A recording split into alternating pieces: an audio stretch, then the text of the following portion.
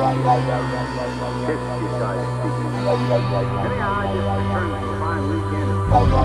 not very good at counter, but I'd say that they were.